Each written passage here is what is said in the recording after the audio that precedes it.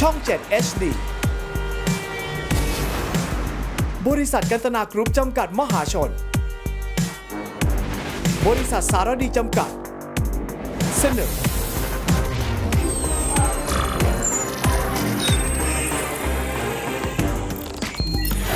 รายการเรื่องจริง Night Life เคลียกำร์เนิดชายหนุ่มคนหนึ่ง ซึ่งเป็นเอาละทายาทของตลกดังชื่อสีหนุ่มเชิญยิ้มหลังจากนั้นชีวิตของเขาพลิกผัน เป็นตลกที่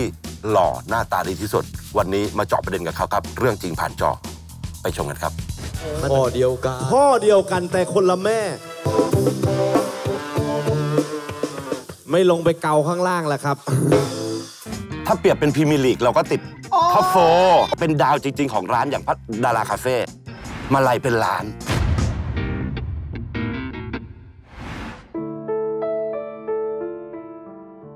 ในช่วงที่แฟนป่วยเราก็ยังทำงานอยู่ปกติ วันหนึ่งพอเราป่วยด้วยสองคนป่วยแล้วก็จะยังไงต่อไป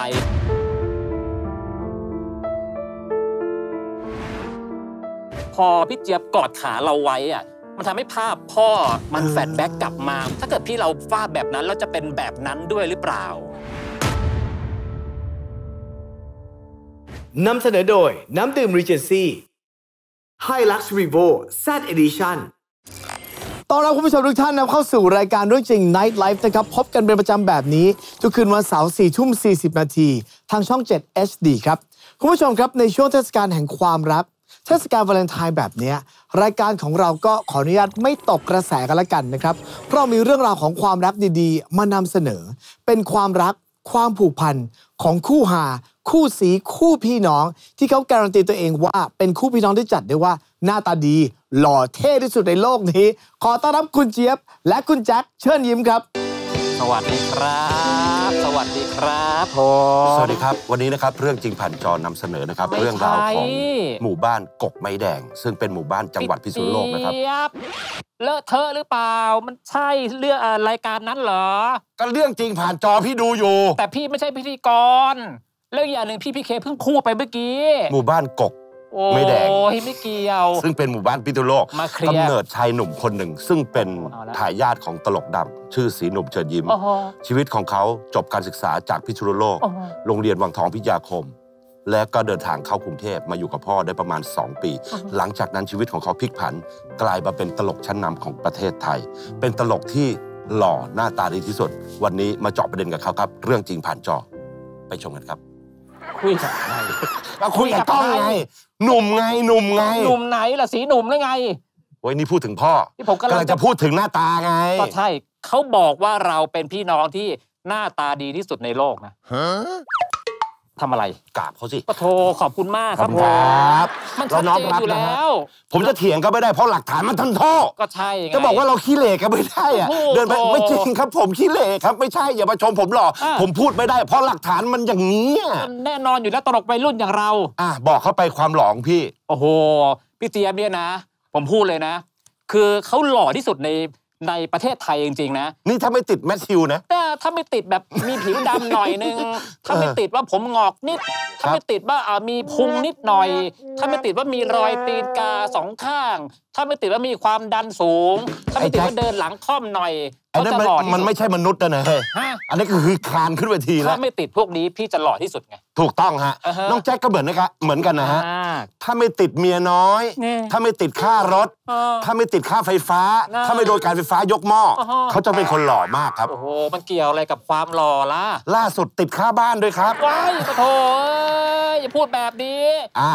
วันนี้นะครับเราจะมาคุยกับ PK กันแล้วกัน แน่นอน PK เขาครับต้องคุยกับเรา ฮะ เขาต้องคุยกับเราไม่ใช่เราคุยกับเขา เราต้องไปคุยกับ PK เขาเเชิญเรามา พี่เจี๊ยบคุณแจ็คสวัสดีครับสวัสดีครับเอาอย่างนี้อะไรย้อนรอยกันก่อนครับ30 ปีก่อนหน้านี้คณะสีหนุ่มเชิญยิ้ม สมัยก่อนนั้นฮอตขนาดไหนโอ้โหถ้าเปรียบเป็น Premier League เราก็ติด top four โอ้โห เฮ้ยจริงๆลิเวอร์พูลแมนยูอาร์เซนอลอ่าอย่างนี้ใช่ไหมฮะ เราจะต้องติดหนึ่งในนั้น จริง ๆ แล้ววิลล่าคาเฟ่พระรามเก้าคาเฟ่เนี่ยอ่ามัมันคือสนาม Old Trafford สนามอะไรเลยนะแอนฟิลด์อะไรแบบนั้นเลยแอนฟิลด์คือตลกที่จะขึ้นไปเล่นก็ต้องเป็นตลกที่ท็อปวันเออถึงจะมีสิทธิ์ขึ้นไปเล่น วันหนึ่งสิบคณะสีหนุ่มต้องเล่นสองรอบ วันหนึ่งอ๋อผมวิ่งประมาณสักสิสิบบกว่าสามที่ที่สิบสามที่นี่เบสิกอะพี่พูดก่อนดิไอ้นี่นี่ชอบแย่งพี่พูด เดี๋ยวเขาถามแกแกค่อยพูดอะอะคุยไปครัอะบไปครับคุยคุยคุยพี่ไม่คุยอะ อะวิ่งคืนหนึ่งสิบสามโอ้ยใครก็ได้ตอบหน่อยเถอะวิ่งคืนหนึ่งสิบสามที่ไปไหนบ้างพี่ผมตอบเองอะไป สิบอ่าสิบสามที่มีฝั่งทน เออฝั่งพระนคร เออ คือพูดง่ายๆว่าเล่นที่สุดท้ายเนี่ยออกมาเนี่ยเราเห็นพระบิณฑบาตเลย คือถ้าเปิดม่านมาผมนี่ตาพูดอยู่ รู้เรื่องมากสิ เอ๊ะอะ มีมารยาทหน่อยเฉลิม ถ้าเป็นชีวิตผมนะครับผมสัมผัส บรรยากาศคาเฟ่มา 5-6 ปีเต็มอืมๆนะฮะช่วงที่คาเฟ่เฟื่องมากอืมๆคือคาเฟ่ใครก็ต้องไปอยากดูคนจะเสพตลกต้องไปคาเฟ่อ่าใช่ ไม่ว่าจะเป็นที่ไหนนะที่จะเป็นที่พวิระลรามล่าเก้าคาเฟ่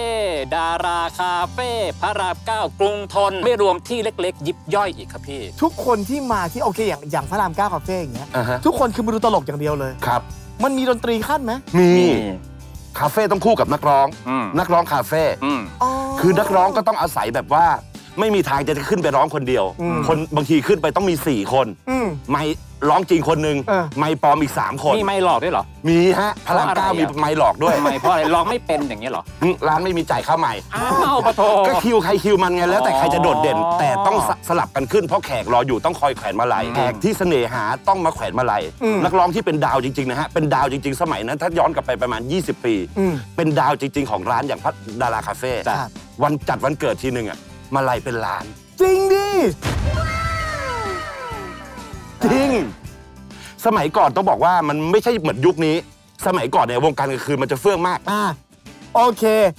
มีมากมายหลายคณะ แต่จุดเด่นไฮไลท์ของสีหนุ่มเชิญยิ้มคืออะไร ของคณะเนี้ยน่าจะเป็นเรื่องเกี่ยวกับทีมเวิร์กยังไงครับ ทีมเวิร์กคือเราเล่นกันเป็นทีม เพลงเนาะ คนจะเสพพวกเราได้ก็คือต้องเช่าวิดีโอม้วนใหญ่อ่า เคยทำเคยทำๆใช่ดูอยู่ทันดูอยู่เราที่ทันกันการรุ่นนั้นนะฮะอืมถ้าเกิดว่าเช่าวิดีโอ10ม้วน หนัง7ต้องมีตลก3อ่าอาจจะมีหนังโป๊หนึ่งถ้าสนิทว้ายกับเจ้าของไม่มีร้านโอ้ยเอามาทำไมโอ้โหน่าเกลียด จุดเด่นของสีหนุ่มจริงๆ ก็คือ พวกเราเล่นเป็นทีม แล้วก็พวกเราเล่นมุกร้องเพลงกันเยอะ อะแล้วพี่เชฟเข้าเมื่อไหร่อะเก็บเข้ามานี่ตอนแรกไม่ได้เล่นตลกเลย แล้วก็เข้ามาอยู่กับพ่อมาเป็นเด็กถือถาด เด็กถือถาดตีหัว เขาใช้ไปซื้ออะไรแล้วก็ไปอย่างเงี้ยอ๋อค่าตัววันละ200อ่าพอเป็นเด็กถือถาดได้ประมาณสักปีกว่าๆกับ 2 ปี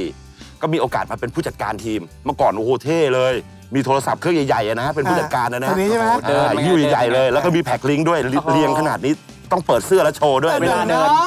อ่าต้องอย่างนี้เลย เท่ใครมีโทรศัพท์ อ่า ผมเป็นผู้จัดการ เราต้องรับโทรศัพท์ ใช่เท่แล้วก็พอเป็นผู้จัดการได้ประมาณปีกว่าๆก็มีโอกาสขึ้นมาเป็นตัวเล่น อ้าวแต่ในสุดท้ายอะก็เริ่มลงตัว จนมาได้มาที่มาของมุกลูกผมพ่อผม ดังใช่ มากดังมาก ใช่มุกนี้ดังมาก จากที่เราเล่นไม่เป็นอืมเราไม่รู้จะพูดอะไรอืมมันก็เลยกลายเป็นมุกเชียร์ลูกขึ้นมาอืมแล้วก็พ่อเป็นคนเชียร์พ่อเก่งมากอะนะฮะก็ไม่รู้จะทำอะไรลูกชายหน้าตาดี ลูกชายเพิ่มลูกชายเพิ่มเออคนโตหน้าตาดีอะไรเงี้ยไอการที่ร้องเพลงมอกระจายนี่ผมว่าให้ลูกชายร้องดีกว่า รู้ไหมว่าใคร เป็นคนเก็บใจฉัน ลูกชายผมมัน โดนทิ้งอย่างบอบช้ำ ลูกชายผมเดียวที่อยู่เคียงข้างฉัน ยิ่งนานวันฉันยิ่งรักเธอ ลูกชาย ฉันคอยใจคนฉันเก็บเธอ ลูกชายเนี่ย ลูกชายผม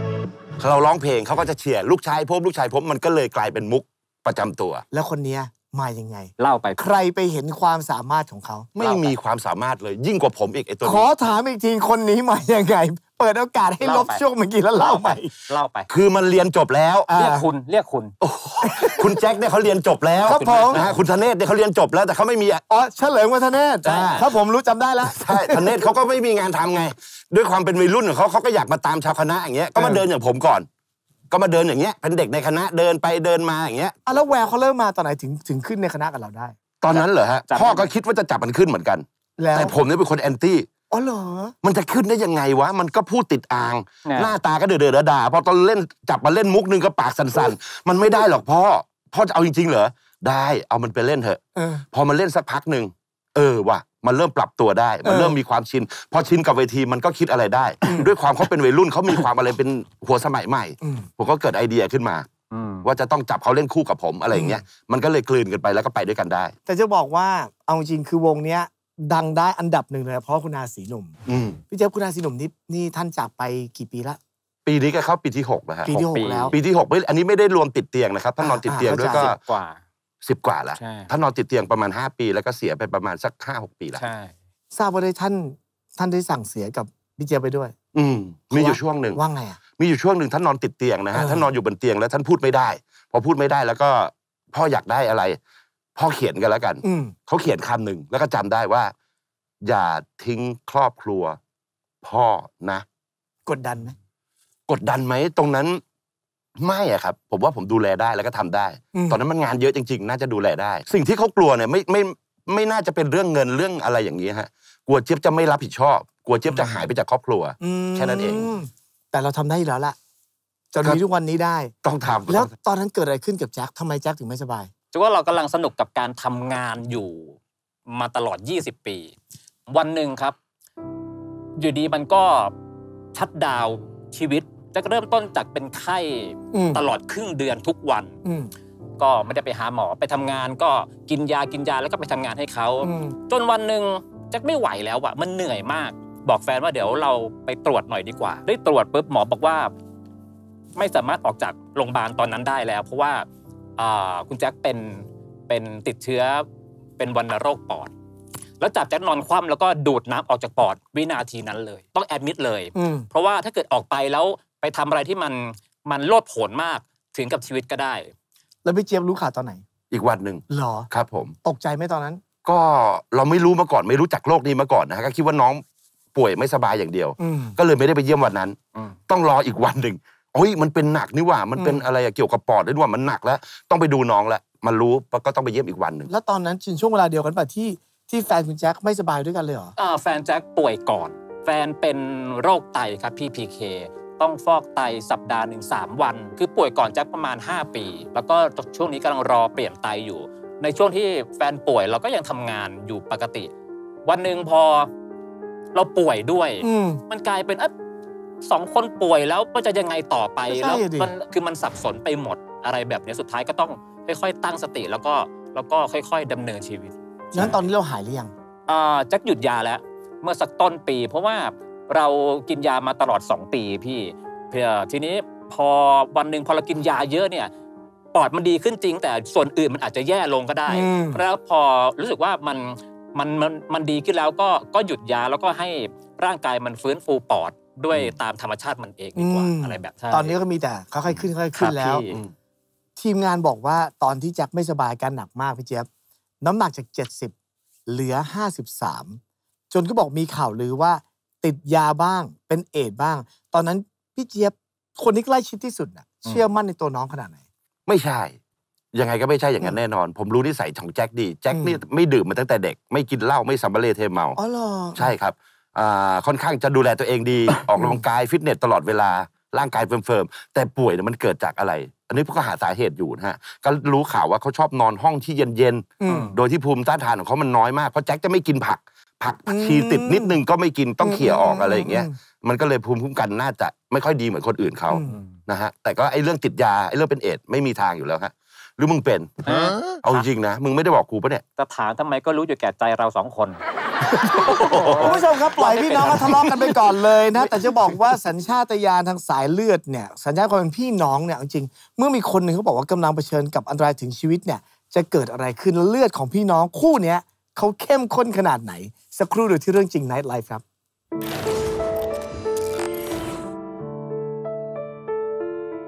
พอพี่เจี๊ยบกอดขาเราไว้อะ มันทำให้ภาพพ่อมัน flashback กลับมา ถ้าเกิดพี่เราฟาดแบบนั้นเราจะเป็นแบบนั้นด้วยหรือเปล่า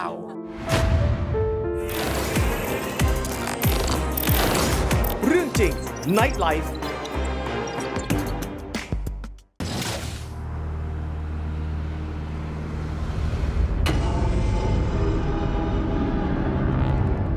แม้จะอยู่ห่างจากถนนสายเอเชียเข้าไปประมาณ 3 กิโลเมตรเท่านั้น แต่เนื่องจากบรรยากาศโดยรอบของสถานที่แห่งนี้ ช่างดูเงียบเหงา และวังเวงห่างไกลจากแหล่งชุมชน จึงยากที่จะมีใครเข้ามาอาศัย และใช้ชีวิตอยู่ในสถานที่ดังกล่าวได้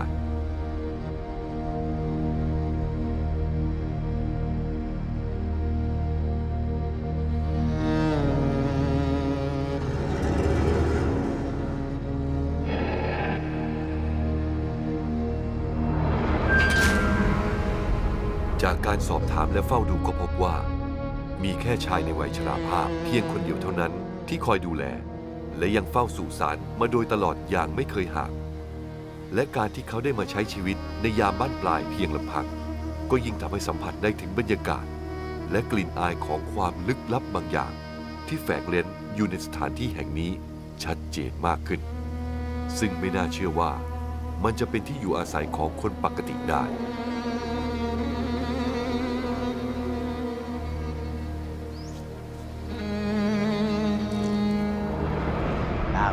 านอยู่ที่โรงพยาบาลคริเตียน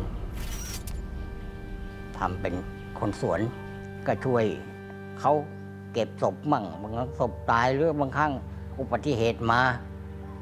เหมือนอย่างเขาเอาศพมาฝาก เราก็ต้องไปช่วยเขายกนะหรือเวลาเอาศพไป บางครั้งเขาไม่มีใครมาช่วยเราก็ต้องช่วยเขายกอีก เคยนะเขาฝากศพมาจนเน่าก็มี ที่มาอยู่นี่เราก็ไม่กลัว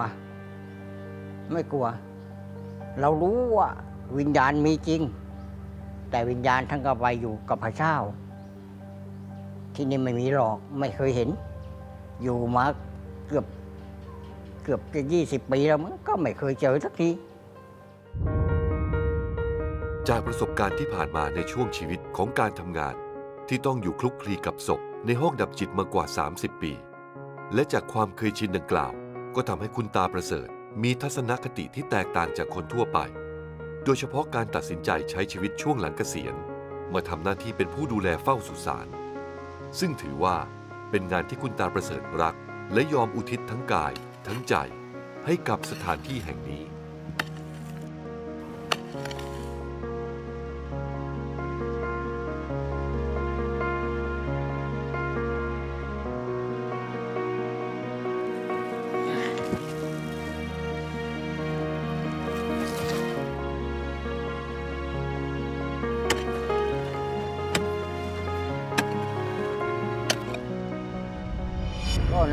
หลักๆก็ตัดหญ้า ดูแล ความเรียบร้อย ถ้าศพจะมาเขาจะโทรบอกก่อน อ่า วันอีกสองวันอีกสามวันจะมา เราก็เตรียมสถานที่เช็ดกวาดถู ล้างห้องน้ำห้องท่าเตรียมดูน้ำทุกอย่างดูให้เรียบร้อยกวาดใบไม้ให้มันเรียบร้อย เราจัดแจงไว้ให้เขาพร้อมกระทั่งที่หลุมเตรียมเอาเหล็กวาง เอาเหล็กวางแล้วก็เชือก เวลาเขาจะยกลงเขาจะยกเชือกเห็นไหม ที่เอาลงเราเตรียมพร้อมมาแล้ว แล้วก็หมดหน้าที่เราละกว่า 20 ปีแล้วที่คุณตาประเสริฐได้มาอาศัย และทำหน้าที่คอยดูแลความเรียบร้อยทุกอย่างภายในสุสานซึ่งมันเป็นทั้งบ้านและที่ทำงาน รวมทั้งเป็นที่เก็บบันทึกเรื่องราวต่างๆ ไม่ว่าจะทุกข์หรือสุข ซึ่งมันได้เกิดขึ้นในช่วงหนึ่งของการได้มาพำนัก และใช้ชีวิตอยู่ในสถานที่แห่งนี้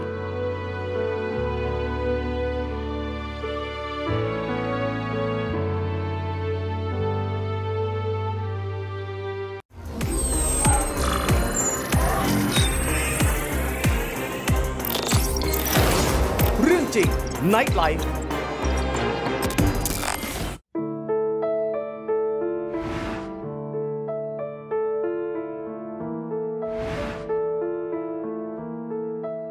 เริ่มมีผู้หญิงไง มีผู้หญิง ติดหญิง พ่อไปตามก็ไม่กลับ แม่ไปตามก็ไม่กลับ ผมไปเสร็จปั๊บเคาะห้องป๊อกป๊อกป๊อกแจ็ค กลับบ้านเราปะ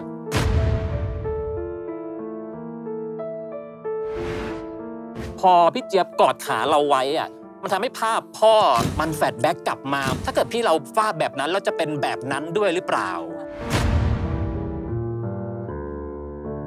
นำเสนอโดย n e s c a f e กระป๋อง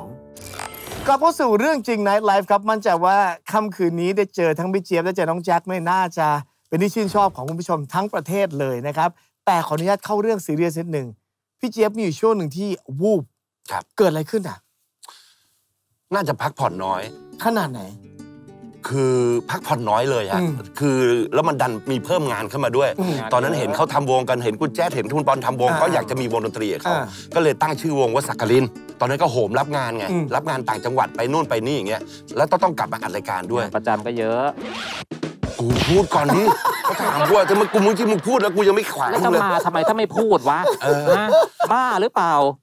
อะพูดแทนเลยอะไม่เอางานมันเป็นเรื่องของขพี่ ออนุญาตฟังไปเจี๊ยบต่อเอครับอคือมันพักผ่อนน้อยก็ทำทำวงกับแจ็คนี่แหละแจ็คก็อยู่ด้วย แล้วทีเนี้ยมันต้องบินไปบินกลับสงขลาบ้างแล้วก็มาถ่ายบ้าง มันแล้วมันเป็นรายการตลกอะ อืมมันก็เลยวูบตอนจะปิดเบรกอยู่แล้วแหละอืม รู้สึกว่าไอ้หน้ามืดอะเคย เคยสัมผัสบ้างว่า ถ้ามันวิ่งวิ่งมาเราสะบัดเอ็กซ์ไซส์นิดนึงมันก็จะหายจะไปหายแต่ทีเนี้ยมันวิ่งมาเราสะบัดแล้วมันไม่หาย อืม เฮ้ยมันวิ่งมาอีกมันก็ไม่หาย ก็เลยไปยืน พิงจักรยานอืมมันจะเป็น prop จักรยานนะฮะก็จับจักรยานว่าเราพาจักรยานนะมันโยก คือจักรยานจะไปด้วย จะไปโยกด้วย มันอาศัยไม่ได้เลยฮะอ่าไอ้แจ็คเขาเดินมาจริงๆเขาเห็น ตอนนั้นเป็นยังไงเห็นได้ไงอะให้เออพูดถือว่าโชคดีมากใช่ตอนกิพี่ดอะไรเคขึ้นเราถ่ายงานกันอยู่แล้วทีเนี้มัยนเป็นยังไงวะพี่ลืมจะปิดรายการแล้วเออทีเนี้ยผมก็ทำไมพี่เจี๊ยบมันเงียบๆไปอืมไม่เล่นมุกเลยใจเราก็คืออยากจะเดินเข้าไปหาพี่บอกพี่เล่นหน่อยอ่าช่วยกันเล่นหน่อยเออออะไรอย่างเงี้ยกำลังจะเดินเข้าไปเขาก็ซุดเข่าลง แล้วก็เอามือกอดขาเราไว้เออเราก็ตกใจมุกอะไรวะเนี่ยลุงโน้ตก็มองพี่บอลก็มองเอ้ยเล่นมุกหรือเปล่า ไปมาเรามองเว้ยไม่ใช่นี่หว่าเออพี่เราวูบนี่หว่าเออเราเลยบอกพี่พี่พี่เออเดี๋ยวเดี๋ยวผมว่า take ก่อนดีกว่าพี่เจี๊ยบเหมือนจะเหมือนจะเป็นอะไรก็ไม่รู้เออเขาก็ยังคิดว่ามุกอยู่ดีจนสุดท้ายก็ต้อง take แล้วก็เอ่อเขากอดเข่าผมไว้ ต้องบอกว่าเขาไม่ take จริง ๆ เขาคิดว่าไม่ take มุกกันแม้กระทั่งโปรดิวเซอร์ที่นั่งคุมอยู่เขาก็คิดว่ามุกเออต้องมีอะไรใหม่แน่เออต้องหาแน่เออหา อะไรจะตาย คิดอะไรไม่ได้ ดีเห็นก็คือต้องมีหลายคนยืนอยู่ตรงนั้น แต่สิ่งที่เราพึ่งได้ที่สุด อันนั้นก็คือสายเลือดอ่าคนที่สนิทที่สนิทที่สุดก็คือต้องเป็นน้องเหมือนกับมันมีเดิสันญมาชาพอตดีญาณพอดีเลยเนาะใช่แล้วเขาเดินมาถึงพอดี พอพี่เจี๊ยบกอดขาเราไว้อะอืมถ้าเราเดินไม่ไปถึงตรงนั้นน่ะพี่ ถ้าเกิดเขาลงไปแล้วเขาไม่มีอะไรยึดเอาไว้เขาอาจจะหัวฟาดอ๋อใช่หงายท้องหงายหน้า มันทำให้ภาพพ่ออมที่ที่อ่าเส้นเลือดในสมองแตกอะ มันเออ flashback กลับมาว่า ถ้าเกิดพี่เราฟาดแบบนั้นเราจะเป็นแบบนั้นด้วยหรือเปล่า มันก็กะแจกซองเลยเลย ไม่ใช่สีเขาเป็นบ้ห่วไงงเหรอ กำลังเข้าโหมดซึ้งวาเลนไทน์อยู่ โอเค ปะโถเอ้ยประมาณนั้นพี่เราก็เลยคิดว่า เออภาพพอกลับมา เราโชคดีที่เราเหมือนไปอยู่ตรงนั้นในช่วงที่เขาวูบอืม พอดี อืม ถ้าเราไม่ไปอยู่ตรงนั้นแล้วเขาหัวฟาดขึ้นมา ก็ไม่รู้จะเกิดอะไรขึ้น พี่เจี๊ยบตอนนั้นคิดไหมตอนที่มันเริ่มวิ่งอะ เริ่มคิดว่าคิดไหมว่ามันหนักขนาดที่เราตุ้มอืมแล้วลงพื้นได้เลยอะ หน้าพ่อมาก่อนเลยนั่นน่ะจริงเหรอจริงๆฮะเราคิดถึงเลยว่า เราเป็นเหมือนพ่อแล้วล่ะ พ่อต้องเป็นแบบนี้แน่ๆเลยอืมเพราะอาการที่ผมเป็นเนี่ยเหมือนกับคนคนที่เขาเห็นพ่อเป็นอะอืมเล่าให้ผมฟังนั่นก็คือ พ่อเริ่มจะหน้ามืด เป็นลมแล้วไปนั่งพักสักพักหนึ่งอ่าแล้วเขาก็วูบไปเลย ผมคิดเลย ผมต้องเป็นเหมือนพ่ออ๋แน่อแล้ววันนั้นตกลงคือได้ไปหาหมอไหมๆ ไปเดี๋ยวนั้นเลยครับไปครับต้องผมไปเลยผมเป็นคนบอกเลย เพราะโลกนี้มีคนบอกว่าอย่างพ่อกรณีแบบว่าหน้ามืดหรือว่าเส้นเลือดอะไรก็แล้วแต่อืมต้องเอาโรงพยาบาลที่ใกล้ที่สุดอืมผมเลือกไปใครจะให้ถ่ายกันผมต้องไปอืมผมต้องไปหาหมอก่แล้ววันนั้นหมอบอกว่าอ่าคุณเป็นความดันความดันสูงมาก เพราะว่าไม่ได้พัก ใช่ฮะ แต่ไม่ยังไม่ได้ขนาดพ่อใช่ไหม ไม่ถึงครับอ๋อเพราะว่าพ่อเป็นเบาหวานด้วยแต่จะไม่ได้เป็น แต่ว่าถามว่ากรรมพันธุ์มีสิทธิ์เป็นไหมมีสิทธิ์เป็น เข้าใจ ทุกวันนี้ผมก็ต้องคุมเกี่ยวกับความดันอยู่ อ่างั้นแสดงว่าหลังจากวันนั้นก็คือพักผ่อนมากยิ่งขึ้น อืม ก็กลับมาทำงานได้เหมือนเดิม ไม่ทำวงเลย อ้าว ล้มทิ้งวเลยงไม่เอาฮะไม่ไหวเหรอ ใช่คืนมันเหนื่อยมากงานหมด มันเหนื่อยมาก คือจะบอกว่าที่แจ็คเดินมาเนี่ยเขาจะเรียกว่าสัญชาตญาณก็ได้นะครับ แต่มีสิ่งหนึ่งที่คุณแจ็คเนี่ยเขาประทับใจกับพี่ชายคนนี้ แม้ว่าจะผ่านมาหลายสิบปีแล้ว ตรงนี้แหละร้องไห้ได้เลย มันคืออะไรคุณแจ็คผมว่าผู้ชายคนนี้เนี่ยยังไม่ได้พูดอะไรอย่าเลเพิ่งสิยบิวขนาดนี้แล้วอะช่วงนี้ดนตรีเขาคลอแล้วเนี่ยมึงรู้ขนาดนั้นเลยเหรอมีดนตรีขอรายการไม่มีไม่มีเหรอเรื่องใส่จริงซาวด์หน่อยสิผ่านจอปะโถเอ้ยไม่ใช่ทีมงานขอเพลงแบบขอไวโอลินนิดนึงนะเชิญครับ คือผมว่า มึงรู้ต้องมีดนตรีด้วย พี่ก็ไปตัดเขาทำไมแล้วนี่มาคือปะโถมันจะมาสีซอได้ไง คือการสีซอไม่มีใครได้ยินผมไม่กำมีลังใครได้ยินผมก็เลยจะบอกทุกคนว่าผู้ชายคนนี้เนี่ยอ่าคือเท่าเท่ากับพ่อได้เลย ในความ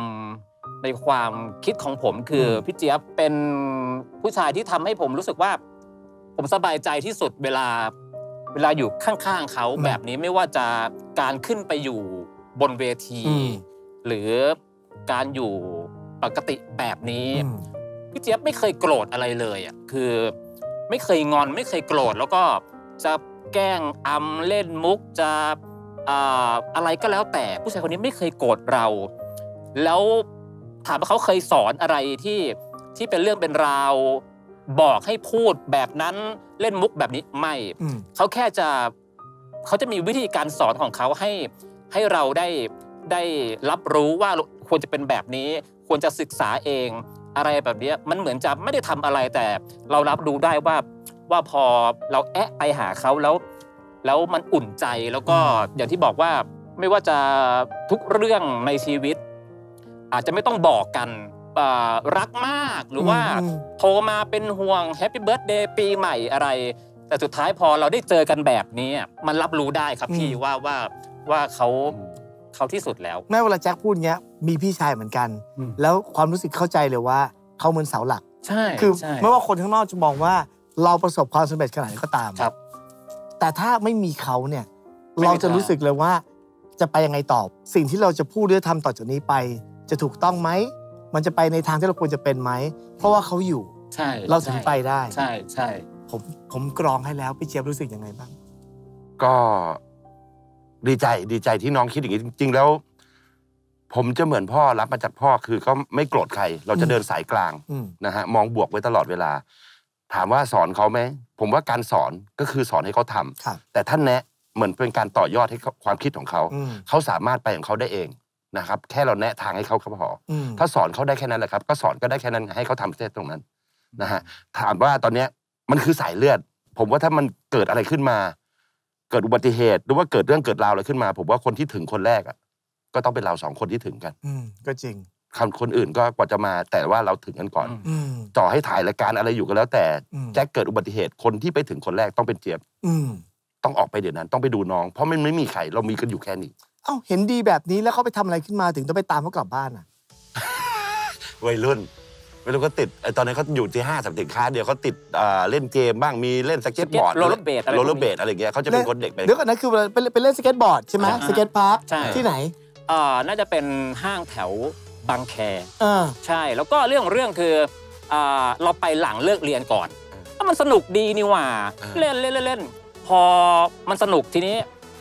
อ่าเลิกเรียนไม่พอแล้วอืม เวลา โดดเรียนเลยสิ ตั้งแต่เช้าเลย มันต้องอย่างนี้เวลารักอะไรมันต้องอินแบบนี้ ไอเด้าเลย จะบอกให้ผมเก็บอ่าเสื้อผ้าใส่เป้ ครับ พอไปถึงเรียนโดดออกมา ใส่ชุดไปเวท ครับไปที่ลานสเก็ต เออ ไปเล่นเล่นเล่น เล่น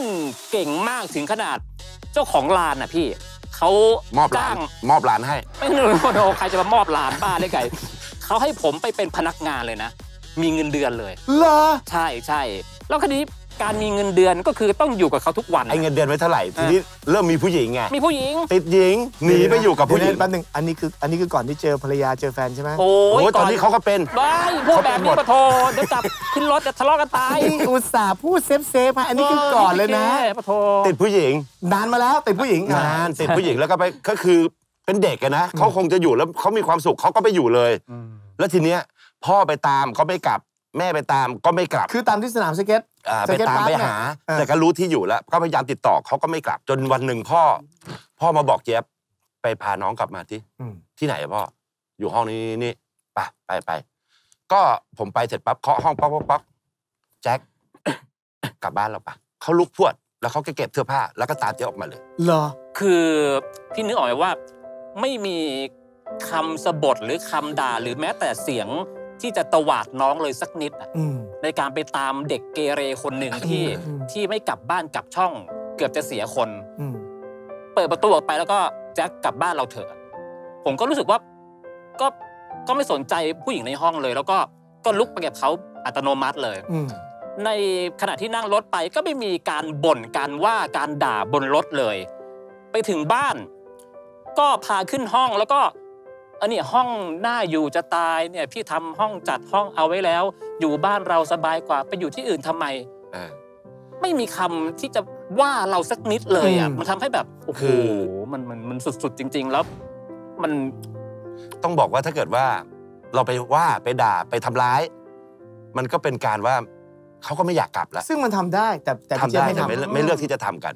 ก็บอกพ่อกับแม่ว่าไม่เอาไม่ควรไม่ทำ ต้องพาน้องกลับมาก็ให้เขาสบายใจที่สุดอืมให้เขากินอิ่มนอนหลับอืมให้เขามีความสุขกับบ้านเขาก็ไม่อยากไปไหนละแล้วอย่างพี่เจี๊ยบเป็นพี่ชายแบบไหนอ่าต้องบอกว่าเราไม่ได้โตมาด้วยกันใช่เราไม่ได้โตมาด้วยกันแต่ความผูกพันของสายเลือดอะมันกอดกันรู้สึกอุ่นอืมเคยไหมครับผมก็ไม่ได้อยู่กับพ่อนะ ผมไม่ได้อยู่กับพ่อ ผมรู้เลยว่ากอดของพ่อมันเป็นกอดที่อุ่นมากอืมเหมือนกับน้องชายกับเราเนี่ย ถ้ากอดกันมันจะอุ่นมาก มันจะเป็นพิเศษแต่ถามว่ากอดบ่อยบ่อยไหมบอกรักกันบ่อยไหมน้อยมากอืม คือผมอยากจะเจอเขาแต่มองตารู้ใจอยากจะเจอเขาทุกครั้งที่ไปทำงานน่ะอืมแล้วก็มาเจอกันที่บ้านหรืออะไรคือ มันเหมือนวงการบันเทิงทำมาเพื่อเราสำหรับผมนะคือ เรารู้สึกปลอดภัยเวลาเล่นบนเวทีอืมเวลาอยู่กับเขาเพราะฉะนั้นแล้วพอมีเขาเราไม่กลัวใครไม่กลัวอะไรเลยอืมมันทำให้อาจจะเป็นส่วนหนึ่งที่ทำให้เราเล่นได้ ฟรีสไตล์ขนาดนี้ก็เราได้กล้าแสดงออกมากยิ่งใช่ขึ้นพี่โดยไม่ต้องกลัวอะไรเลยใช่ใช่ไหมพี่ภูมิใจกับน้องไหมพี่เจี๊ยบก็ภูมิใจครับภูมิใจที่เขาเดินมาถึงตรงนี้ได้นะฮะจากเด็กคนหนึ่งซึ่งไม่มีแววเหมือนผมนี่แหละ ไม่มีแววที่จะอยู่ในวงการบันเทิงเลยอืมหน้าตาก็อย่างนั้นอย่างนั้น รูปร่างก็อย่างนั้นอย่างนั้น แต่พอเขามาอยู่ตรงนี้ได้ มันกลายเป็นว่า นอกจากความสามารถนะครับ ทุกคนข้างๆ รอบข้างก็ยังรักเขาอืม เหมือนกับพ่อต้องการให้เราเป็นอย่างเงี้ยอืมเดินไปไหนมีแต่คนชมลูก อันนี้ก็คือเป็นรางวัลชีวิตสำหรับเขา ได้ฟังเสียงไอดอลของเราเลยนะครับเขาพูดอย่างเงี้ย ภูมิใจกับไอดอลเราขนาดไหนเนี่ยผมว่าเขาก็คือที่สุดในชีวิตเราแล้วก็พูดแบบนั้นได้เลยอืมในเวลาที่เรามีเรื่องเดือดเนื้อร้อนใจ ทุกเรื่องร้อยเปอร์เซ็นต์น่ะพี่ แค่ไม่ต้องกรี๊งไปหาเขาแค่รู้สึกว่า เราคิดว่าเรามีเขาอยู่อะบางที เราก็รู้สึกเซฟในสถานการณ์ที่เราแย่ๆอยู่แล้วอะคือเราไม่ต้องคือจะจะเป็นคนที่ไม่ค่อยชอบ เอาเรื่องไม่สบายใจไปให้เขาอืมพี่ผมเป็นแบบนี้พี่ผมแย่อยู่ ถ้าไม่สุดๆจริง ๆ ซึ่งน้อยครั้งมาก ไม่น้อยนะ บ่อยด้วย เดี๋ยวก็โทรมาอีกแล้วก็ตอนนี้ผมก็ยามอยตีห่างแล้วเพราะว่ามัน ก็ไม่ได้แล้วก็นิดนึงของเก่ามันใช้ก่อนแล้วก็ค่อยโทรมาอะก็ถ่ายรายการนี้ก็พี่เอาจี๊ไปบเลยพี่แจ็คพูดก่อนให้แจ็คพูดก่อนอะกำลังจะซึ้งเพลงกำลังขึ้นเลยอะครับมันเพลงมาอีกแล้วใช่ปะโทก็คือรักเขาที่สุดแล้วก็อุ่นใจที่ที่เรามีเขาอยู่ในวินาทีนี้แล้วก็ตลอดไปแค่นั้นเอง เรียกว่าพ่อคนที่สองได้ไหม แน่นอนถ้ารู้ที่บ้านแจ็คอะทางเดินขึ้นบันไดบ้านน่ะ นอกเหนือจากรูปพ่อที่ขนาดนี้แล้ว ก็จะมีแม็กดอปรูปเขาโอ้โหก็คือขึ้นลงจะมีพี่กับพ่ออยู่ตลอดเวลาเรื่องจริงครับ อันนี้พูดจริงหรือว่ามีอะไรข้างในหรือเปล่าเนี่ยคือเดินแต่ขึ้นว่ามึงต้องวงเล็บยังมีชีวิตนะไม่ไม่ใช่พี่ว่าเจี๊ยบโทรก็เอาไว้ขึ้นแล้วก็เจอลไม่งใช่แล้วว่าก็เจอเพื่อนมึงไปเที่ยวบ้านแล้วเอ้า No, no, พ่อ no, เสียไป no, no, no. เสียไปห้าปี No, no, เอาแล้ว no. พี่มึงเสียไปกี่ปีเราไม่นี่มีไม่ได้ไม่นะมีไม่มีคือทุกครั้งเวลาเราขึ้นเราลง เราลงจากบ้านเพื่อจะไปทำงานอะ เราจะขอพรก่อนจากพ่อเอามือแตะรูปพ่อแล้วก็มองหน้าพี่เจี๊ยบว่า เนี่ยเราจะไปทำงานแล้วขอให้วันนี้มันมันเป็นวันที่ดีที่สุดแล้วถ้าวันนั้นมันดีกลับมา เราจะรู้สึกว่าเดินขึ้นบันไดบ้านจะกลับไปห้องนอนเนี่ยก็จะบอกกับพ่อแล้วก็บอกกับพี่เขาว่าเนี่ยมันดีจริง ๆ วันเนี้ยมันทำให้เหมือนมีเขาอยู่ใกล้ๆเราตลอดเวลาถึงแม้ จะไม่ได้เจอกันแบบเนี้ยมันมันแทนใจแล้วมันก็ได้เห็นแค่นั้นพอชีวิตแค่นี้ทำไมพี่เจี๊ยบทำหน้าเหมือนไม่ไม่เคยรู้เรื่องนี้มาก่อน ไม่ค่อยรู้อะแล้ววันนี้รู้รู้สึกไง ดีใจฮะเนี่คยล้ายๆกันดีใจดีใจที่น้องรักนะครับ มันกลายเป็นว่าเขาผมก็คล้ายๆ กับแจ็คไปเล่นเวทีหรือว่าไปออกรายการที่ไหน ถ้ามีเขาผมไม่ต้องคิดอะไรก่อนเลย เดี๋ยวไปเจอกันหน้างาน แต่ไปเล่นกับคนอื่นอาจจะคิดไปก่อนนี่ต้องทำยังไง ต้องทำยังไง ต้องคิดยังไงต้องเล่นอะไรอย่างเงี้ยต้องคิดต้องเครียดต้องคิดแทนเขาอีกอืมแต่ถ้ามากับแจ็คขึ้นเวทีไหนก็แล้วแต่เราสบายใจได้อืมถ้าเราเงียบเขาเสริมเราเสริมเพราะเนี้ยเหมือนตลกที่รู้ใจกันนะฮะอืมหันไปหาเพื่อนแล้วมันสบายใจ สิ่งที่บอกว่าเล่นด้วยแล้วไม่โกรธ ผมไม่เคยเห็นนะ อะไรเล่นยังไงที่แบบว่าที่บอกว่าแย่ขนาดไหนก็ไม่โกรธเขาไม่โกรธอะอะเล่นเนี่ยเล่นยังไง ให้ขอดูนิดได้ไหมโอ้โห นี่วันนั้นเห็นนะ ไปไหนมาแถวศูนย์วัฒนธรรมมาไปแอบเลี้ยวเข้าคอนโด เรื่องอื่นสินะเล่นเรื่องอื่นสิก็มีแต่เรื่องเดียวนี่แหละแล้วเรื่องก็เรื่องเนี้ยพี่ไม่โกรธแต่เมียพี่อะโกรธรู้ได้ยังไงเขาอาจจะชื่นชมก็ได้พี่เชื่อไหมว่าชื่นชมทะเลาะกันพูดพ่อออกเวทีออกทีวีไม่ได้ คิดถึงพ่อพูดถึงพ่อไม่ได้เหรอเออ ไปรีวิวสินค้าแบบชนิดหนึ่งครับได้เงินค่อนข้างเยอะครับ เงินหายไปค่อนข้างเยอะเหมือนกัน เพราะว่าเหมือนจะไปดาวน์รถอีโก้คาร์อะไรให้ใครก็ไม่รู้แบบตัวเองมีนี้รถแล้วไม่ใช่เหรอมันก็ดันนะสิแล้วไปไปดาวให้ใครอีกันก็ไม่รู้เหมือนกันบอกว่ามันประหยัดนะน้องใช้คันนี้ดีกว่าแน่เอ้ยไม่เคยโกรธผมอ๋อทั้งที่มันเป็นเรื่องจริง ครับผม ออกไปคุยข้างนอกว้ายโอ้ยอย่าเดินตามไปโลกปอดอยู่ใจเย็นใจเย็นใจโอ้ยเย็อ้างนอ้างมึงมึงอ้างอ้างไม่สบายอย่างเดียวมึงวิ่งแข่งกับกูไหมโอ้โหไอ้เวรอะไรแบบเนี้ยพี่เข้าใจละบงทีเอาเรื่องจริงมาบ้างเรื่องอะไรบ้าง แต่เมื่อกี้คือเรื่องเล่นอืมก็จริงนะ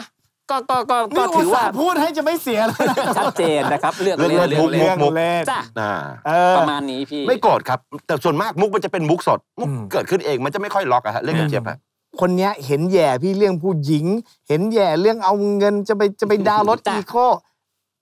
มีอะไรจะล้างแค้นไหมนั่นนะมีมีมุกจะเล่นคืนบ้างไหมนั่นเองคนรักเขาอยู่ตรงนี้แล้วนั่นนะให้นิดนึงดูสายตาเขาดูสายตาเขาน่ากลัวมากอะกำลังปราณีอยู่ไม่ที่มองนี่สงสารภรรยาเขาเหมือนกันทำไมอะเห็นป่วยอย่างนี้เขาก็ไม่หยุดนะฮะไม่หยุดยังไงครับ โอ้โหในนี่การเอาดูจแลริงๆช่วงโควิดเนี่ยสงสารน้องๆที่เรือนพญาปะทำไมอะมึงไม่ได้ไปหาเขาเลยนะ เรือนทางบ้านถาม SMS ว่าเรือนพญาคืออะไรครับ อ๋อ เป็นสถานที่ซาวน่าครับอ๋อก็รู้ครับซาวน่าครับคุณแต่ก็เขารู้ แต่เขาไม่สบายเขาไปได้ด้วยเหรอครับอ่าเขาไปดูแลตัวเองเขาไปซาวน่าครับไหนวันนั้นก็ล่ะไปเจอเขาครับ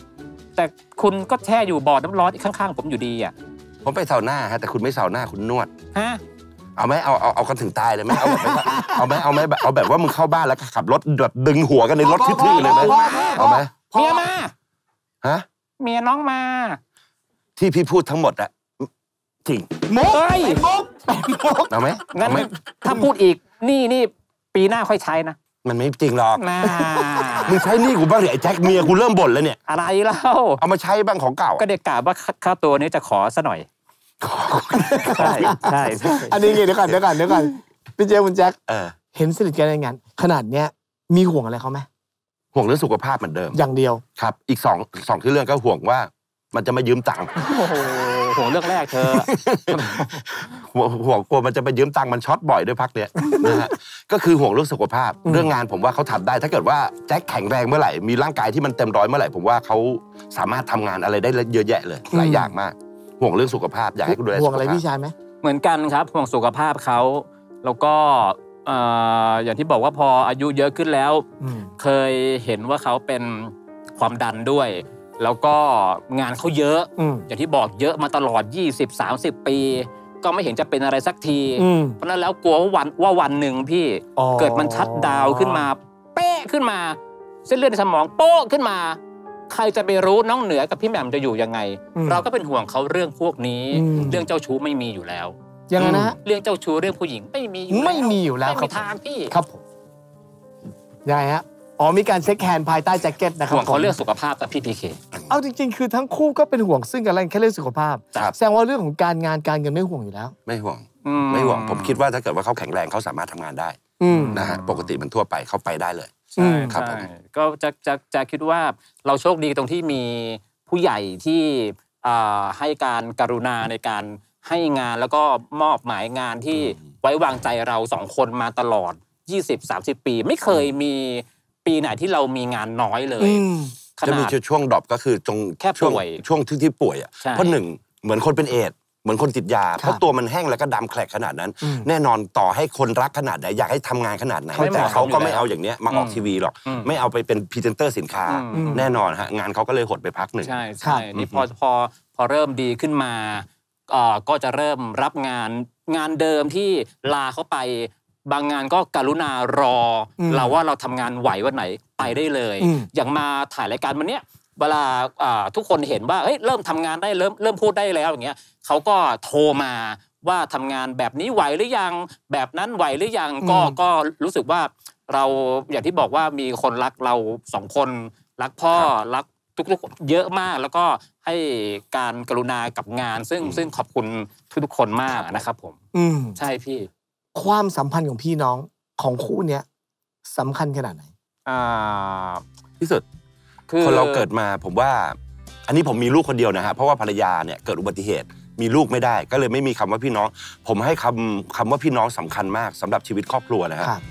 คนที่มีลูกควรจะมีสักสองคนหรือว่าสามคนเขาจะได้มีพี่และกันน้องอ๋อเหรอมันเป็นความผูกพันในครอบครัว ถ้าเกิดมาคนเดียวเขาจะไม่มีพี่น้องเหมือนคนอื่นเขาอืมอันนี้ถ้าเกิดว่าแฟนผมสมมติแข็งแรงผมก็อยากจะมีน้องให้กับ น้องเหนืออีกคนหนึ่งอืมนะฮะตรงเนี้ยเราโชคดีที่ถึงเราจะเป็นต่างแม่อืมนะฮะแต่เราก็มีพ่อเดียวกัน ซึ่งพ่อเนี่ยถ่ายเทสิ่งที่ดีให้กับเรานะฮะให้กับเราสองคนหนึ่งแน่นอนใครจะว่าแจ็คยังไงจะว่าน้องผมยังไงก็แล้ว แต่ผมรู้อยู่กับตัวว่าน้องผมเป็นคนยังไงอืมผมจะไม่มีทางเชื่อว่าน้องผมเป็นอย่างนั้นอืมเพราะผมรู้ดีว่าพ่อผมเลี้ยงน้องผมมาอย่างไงอืมสำคัญที่สุด สิ่งที่สำคัญที่สุดก็คือครอบครัว แล้วก็น้องๆผมอีครักบสองคนครับผมมีอะไรเสริมไหม ผมเอ่อฝากบอกท่านผู้ชมอย่างนี้ดีกว่าว่า การที่ทุกคนมีครอบครัวแล้วมีพี่น้องอย่างเราอะครับ ผมว่ามันมีแน่นอนการกระทบกระทั่งกันทะเลาะกันพี่น้องนะครับ สุดท้ายวันหนึ่งที่คุณแย่อยู่อะมันก็ไม่พ้นใครครับ นอกจากพี่กับน้องที่ที่จะคอยดูแลคุณในขณะที่คุณยังงอนกันอยู่ด้วยซ้ำไป เพราะฉะนั้นแล้ว ผมว่า ชั่วโมงนี้โลกเราเวลามันมันน้อยลงทุกวันครับ เพราะฉะนั้นแล้วดูคำพูดผมแล้วก็จบรายการก็ไปขอโทษกันซะแล้วก็อืมรักกันให้ให้ให้เหมือนคู่เราครับฝากไว้เทานนโอ้โหน่ารักกันทั้งคู่เลยนะ ต้องบอกอย่างนี้นะครับว่า ไม่ว่าคุณจะมีความสุขขนาดไหน หรือว่าวันนี้ไม่ว่าคุณจะทุกข์ขนาดไหนเนี่ยตราบใดที่คุณมีพี่หรือมีน้องแบบเนี้ย มาช่วยแบ่งปันความรู้สึกเหล่านั้น ผมว่ามันน่าจะดีขึ้นได้ ครับพี่ครับ เพราะฉะนั้นวันนี้ถ้ายังมีพี่น้องแบบนี้อยู่ทนุถนอมความรักไว้เยอะก็แล้วกัน ขอบคุณพี่เจี๊ยบขอบคุณมากพี่แจ๊บมากๆเลยนะครับ ขอบคุณครับท่านผู้ชม เรื่องจริงแล้วพักกันสักครู่ช่วงหน้านะครับ เราจะไปดูถึงเรื่องของความรัก ความผูกพัน และความเสียสละระหว่างคน และหมาสักครู่เดี๋ยวที่เรื่องจริง Night Life ครับ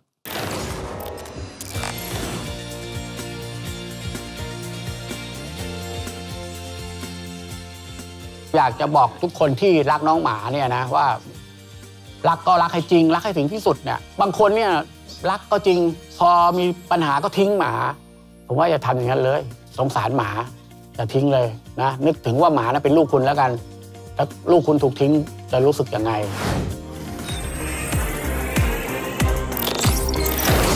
เรื่องจริง Night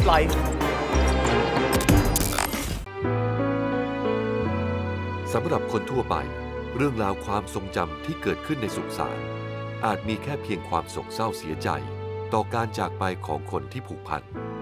ซึ่งต่างจากคุณตาประเสริฐที่มีเรื่องราวมากมาย โดยเฉพาะเรื่องราวของความรัก ความผูกพัน รวมทั้งความหลังอันลึกซึ้ง ที่เคยเกิดขึ้นภายในสถานที่แห่งนี้มากกว่า 20 ปีครับ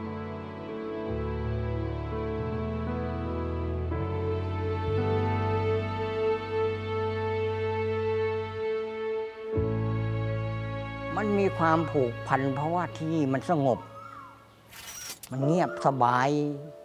มันก็มีแต่สันติสุขมีความสุข ตาทั้งผูกพันไง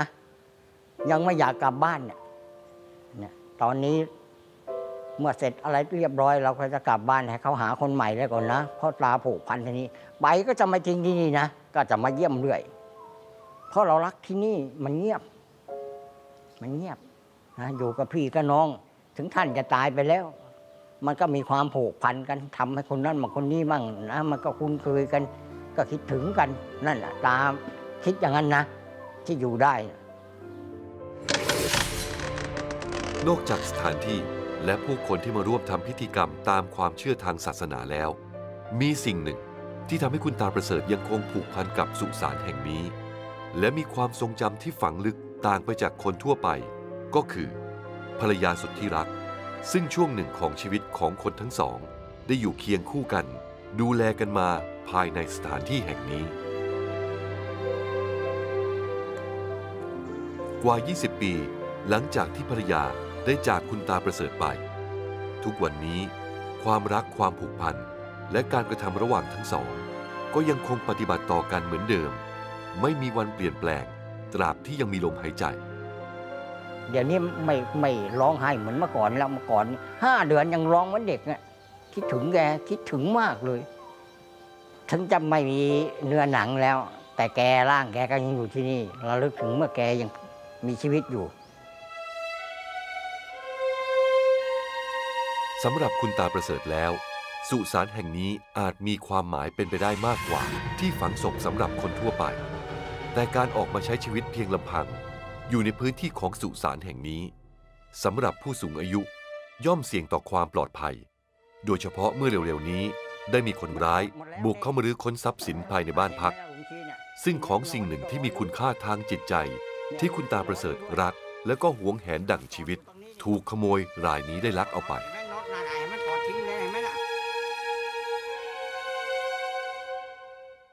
ก็รถซาเล้งเนี่ยมื่อก่อนเราเคยเราทำงานอยู่เรื่อยซื้อของเก่าไง เวลาไปขายยายก็ต้องนั่งไปด้วยเราก็เป็นคนขับ อยู่อย่างนั้น จนกระทั่งเรามาทำงานสุสานก็ยังพายายไปหาหมอเรื่อยไปรักษาแผลที่แกเป็นมะเร็งนั่นนะไปเรื่อยจนชาวบ้านเนี่ยเขาเห็นจำได้หมาเนี่ยยายก็ตาไปโรงพยาบาลแล้วตำรวจตำรวจจำได้หมด นี่เป็นข้อผูกพัน นึกถึงว่าซาเล้งคันนี้มีประโยชน์ ที่เอายายไปได้ ตาถึงรักมันมาก คิดถึง ต้องขอบคุณเจ้าพนักงานนะตำรวจที่นี่ทำงาน โอ้โหเอาจริงเอาจังนะ จับได้วันนั้นก็เอาของมาให้วันนั้นเลย นี่ต้องขอบใจเจ้าพนักงานทุกคนนะเขาช่วยกันจริง ๆ การอยู่เฝ้าสุสานเพียงลำพังแบบนี้ อาจเป็นความเสี่ยงในสายตาของคนทั่วไป แต่สำหรับคุณตาประเสริฐกลับมองว่า ความรักความผูกพัน ความทรงจำรวมทั้งความหลัง ที่เคยเกิดขึ้นในสถานที่แห่งนี้ มันช่างคุ้มค่า และทำให้การใช้ชีวิตในช่วงบ้านปลายของเขา มีความสุขมากที่สุดเลยครับ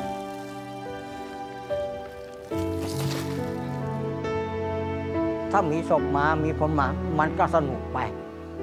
ได้คุยกันหลายคนทักกันพี่ๆน้องๆนะเลยเห็นพี่น้องมา ยิ้มแย้มแจ่มใสอ้าวตายังอยู่นะ เอออยู่ไปนานๆนะ อีกสักสิบปียี่สิบปีบางคนบอกสักร้อยปีนั่นน่ะมันมันมันเป็นเรื่องที่เราสนุกในใจของเราอะเนาะพี่น้องเราอะเนาะให้กำลังใจ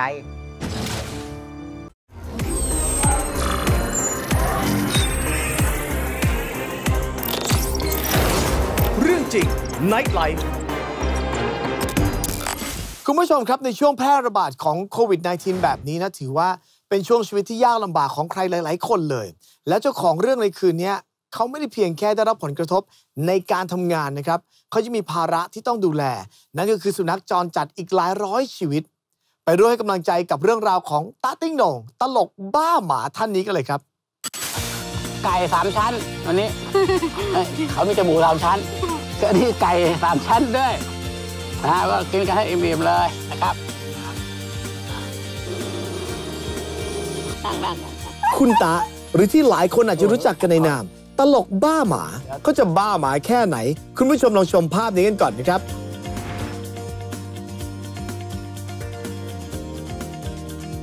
ด้วยความรักที่มีต่อบรรดาลูกๆของเขาที่จากไป วิธีแช่แข็งพวกมันไว้ จึงเป็นทางออกที่ดีที่สุด ในการที่เขาและหมาที่เขารักเนี่ย จะได้อยู่ด้วยกันตลอดไปครับ เริ่มต้นเลยก็คือแฟนเรานี่แหละ ไปซื้อจากสวนตุจักรมาหนึ่งตัว ซื้อมาก็คิดเป็นหมาฝรั่งอะนะแต่จริงๆแล้วมันเป็นหมาไทยโตมาแล้วอะแล้วก็เอาข้างบ้านมาเลี้ยงตัวหนึ่ง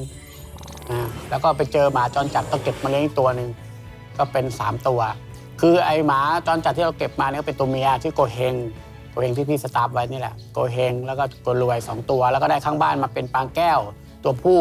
ไปกัดรองเท้าเขาไม่เลี้ยงก็เลยมาให้เรา พอเราเริ่มเลี้ยงหมาเราก็เริ่มมีความรักผูกพันเราเห็นหมาที่ไหนนี่เราก็จะรักละแล้วก็จะ เข้าไปกอดไปจูบปากมันหน้าเซเวงเซเว่นอะไรเงี้ยบางทีเขาก็บอกพี่เอาไปเลี้ยงไหมล่ะเนี่ยมันโดนรังแกโดนอะไรต่ออะไรอ่าจริงเหรอเราก็เอากลับมาบ้าน ลาไปเล่นตลกสมัยก่อนเล่นอยู่ตลกคณะมอมเยินไปเล่นตามต่างจังหวัดอ่างทองนครสวรรค์ขับ ผ่านตามปั๊มน้ำมันเจอหมาค่าตัวที่เราได้มาเนี่ยซื้อฮอทดอกซื้อสกอกเลี้ยงหมากันหมดเนี่ยก็คนเขาก็จะบอกพี่เอาไปเลี้ยงเลย เอามันเลี้ยงเลยเนี่ยมันอยู่นี่มันก็อดอดอ่าแล้วก็เอาขึ้นรถหมาก็คือจุดเริ่มต้นอย่างเงี้ยวางหน่อยวางหน่อยวางหน่อย มาหลายร้อยตัวที่คุณตาดูแลอยู่ เขาดูแลเอาใจใส่พวกมันเป็นอย่างดี และเปรียบเสมือนพวกมันเนี่ยเป็นสมาชิกในครอบครัวของเขาไปแล้วทีหลังก็เสียบแฉบแฉบเช่นจุนเราอยากจะบอกทุกคนที่รักน้องหมาเนี่ยนะว่า รักก็รักให้จริง รักให้ถึงที่สุดเนี่ยอย่างผมเนี่ยรักเขาเหมือนลูกเลยเขาเจ็บเขาปวดเราจะเจ็บปวดใจไปด้วย เรามองเห็นสภาพเขาใกล้จะตายหัวใจเราจะสลาย เรารักเขาอะ รักตั้งแต่แรกที่เห็นเขาก็ขอให้รักเขาไปตลอดอย่าเขาไปทิ้ง คุณเอาไปทิ้งเนี่ยเราต้องคิดถึงจิตใจหมามันก็คิดถึงเราอย่างนั้นรักมันรักให้ที่สุด คุณจะมีความจำเป็นยังไงคุณบางคนเนี่ยรักก็จริงรักแล้วก็พอมีปัญหาก็ทิ้งหมา ผมว่าอย่าทำอย่างนั้นเลย สงสารหมาอย่าทิ้งเลยนะนึกถึงว่าหมานะเป็นลูกคุณแล้วกันถ้าลูกคุณถูกทิ้งจะรู้สึกยังไงนะฮะ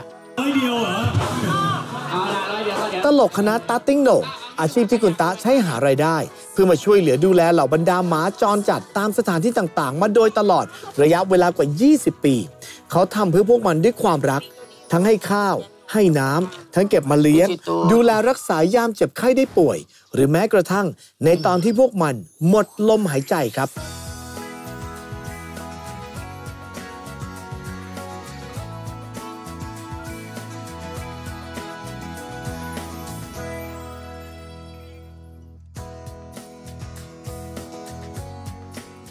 นี้โควิดมันกระทบกับพี่ตั๊กยังไงกระทบมากมากเลย เพราะว่าถ้าลำพังพี่คนเดียวเนี่ยไม่กลัวหรอกใช่ไหมเพราะว่าเรากินแค่นิดหน่อยเราอยู่ได้ แต่ทีนี้หมาเราเยอะ เราดูแลในบ้านด้วยข้างนอกด้วยแล้วตอนนี้ถึงจะตายไปเป็นร้อยก็ยังเหลือ ที่เราดูแลอยู่อย่างน้อยก็ประมาณ 300 ตัว ทั้งในบ้านนอกบ้าน เขาต้องกินข้าวกินอาหาร ตัวไหนป่วยต้องไปหาหมอ เราไม่ได้ออกไปเล่นตลก เราไม่มีรายได้จากตรงไหนเลย แล้วที่ผ่านมาเราไม่เคยเปิดรับบริจาคเป็นตังค์ ข้าวสารอาหารเม็ดแค่นั้น แต่ตอนนี้มันมีหมาป่วย หมาป่วยที่เวลาไปหาหมอทีต้องใช้ตังค์ละค่าหมอวันละ 2,000 3,000 บาทที่ต้องจ่าย สุดท้ายนี้ก็ฝากว่าคนใจดีมีเมตตาก็อยากจะร่วมทำบุญกับผมก็เรียนเชิญ เพราะว่าทุกวันนี้ทุกคนเจอโควิด ผมก็เหมือนกันผมอยากได้ค่ายาค่าอาหารน้องหมาใครอยากร่วมทำบุญผมผมก็ยินดีรับนะฮะก็ขอบคุณด้วยขอบคุณด้วยนะครับยังไงก็ตามนะครับ ขอให้พี่ตะผ่านพ้นทุกวิกฤต แล้วก็พบเจอแต่สิ่งดีๆแล้วกันนะครับ พวกเราขออนุญาตเป็นกำลังใจให้พี่ตะด้วยนะฮะสำหรับคุณผู้ชมที่มีเรื่องราวดีๆแบบนี้ หรือว่ามีของดีๆประจำท้องถิ่น แล้วก็